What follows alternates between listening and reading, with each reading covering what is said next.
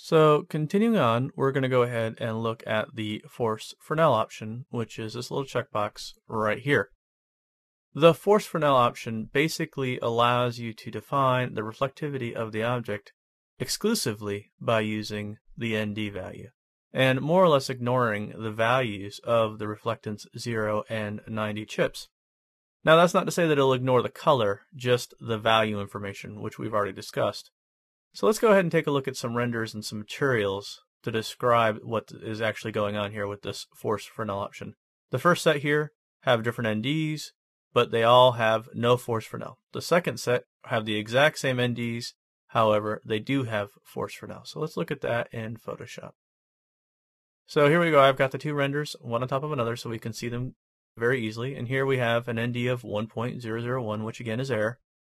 We're at roughness zero, which is important when you're working here, when you increase the ND to 2 or 3 or 4, what you'll see is that the force Fresnel is going to have a much more immediate impact in terms of making the object both brighter and more reflective, which is actually the same thing.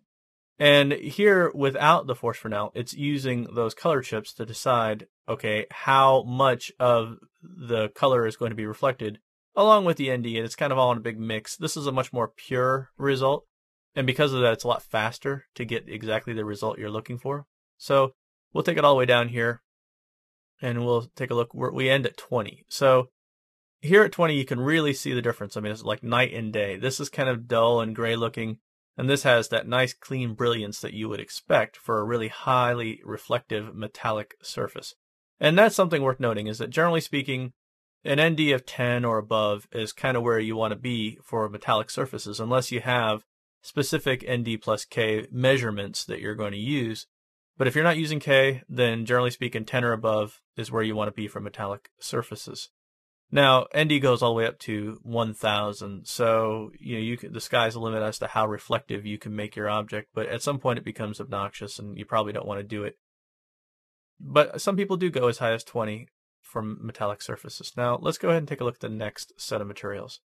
So in here, part two, intensity we've got a bunch of materials, and the idea being here is that we're working with colors. So what I have here is a material that is a hue of 0 and a saturation of 128 and a value of 120, which means this is a middle red value. We've already talked about these measurements before. So basically the idea being is that some of these have force Fresnel turned on and some don't. But I'm going to change the colors so that we can see how the color shifts between these two chips will affect the materials.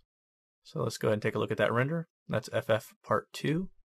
So here we go. These are both the exact same material. They both have the same middle value, sort of dull red for the reflectance 0 and reflectance 90.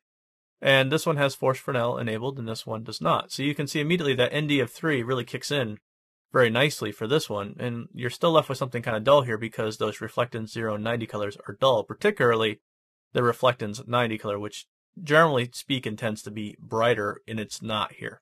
So immediately you'll notice here that I did increase the brightness on these reflectance 90 colors and that makes this look a little bit nicer, a little bit more like what we would expect.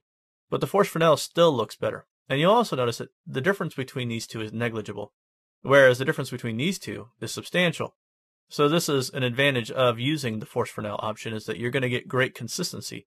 As long as your ND remains the same, you can change the colors to whatever suits your needs and not have to worry about things giving you unpredictable results in terms of reflectance. So let's go ahead and take a look further down. So again, here I've increased the brightness of both the reflectance 0 and the reflectance 90 to 255 and enabled the force Fresnel and disabled the force Fresnel. And you can see here that this again looks a little bit nicer over here than it does on this one. But the Force Fresnel one looks more or less the same as it did before. So that great consistency that we're getting from Force Fresnel that we don't have when we're using the regular ND plus reflectance 0 and 90. Now, over here, I started to go in the opposite direction. I said, okay, well, let me go ahead and darken the reflectance 90 color, which is generally speaking a bad idea. However, here with the Force Fresnel, we don't notice any ill effect from it at all. Here it looks kind of unnatural because we're go going dark on the outside edges and we're shiny in the middle.